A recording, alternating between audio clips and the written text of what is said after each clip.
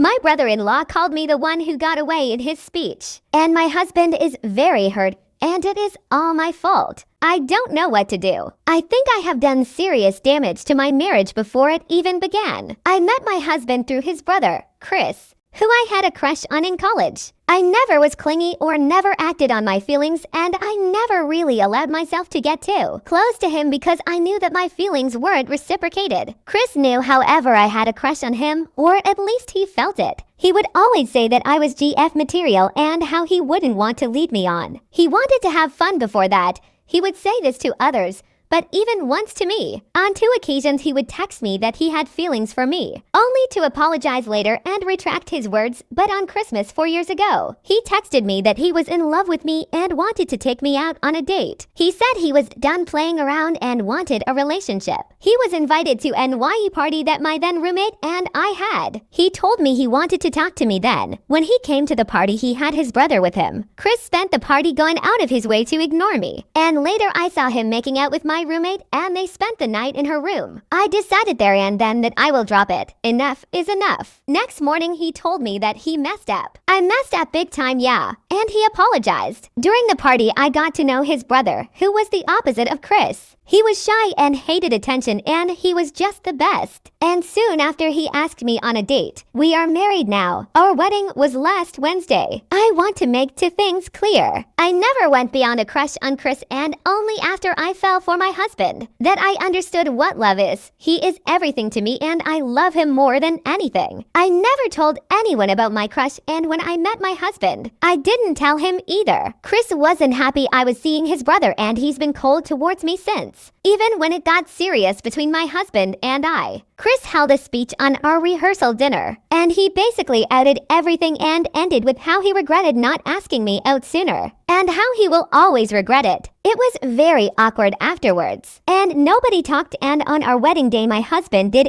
everything to act normal. And he made sure everything was as planned, but I could feel that he was hurt and angry. After the party, he asked me if I loved Chris, and if I dated him for that reason. I started crying because it's absolutely not true. We started dating and became friends. And I made sure it was him I wanted before committing, and I never loved anyone. Like I love my husband. I told him all this and more, and I apologize so much for not telling him everything. In the beginning, I thought it was my own private matter, and I didn't feel the need to discuss it with a then stranger to me. When our relationship evolved, I just never thought Chris was relevant, and my crush seemed a silly thing. Now it's back to bite me in the back. My husband is very sad, and he barely talks to me. We're leaving for our honeymoon in two weeks. He barely speaks about it, the thing we both waited for with so much anticipation and longing. I don't know what to do. I can't turn back time, so I don't know what to do. Am I the a-hole for laughing at my brother's tattoo?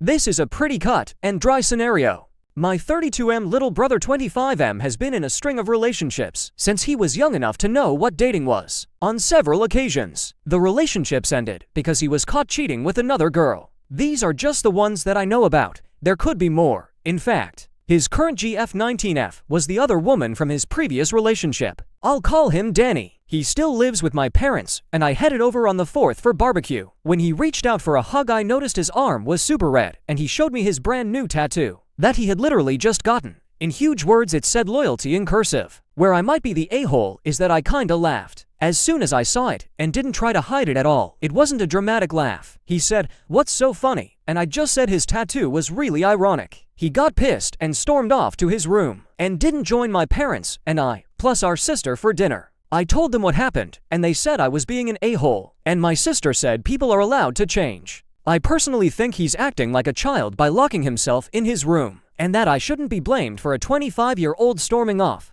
Lol. Follow for updates. Thanks for watching.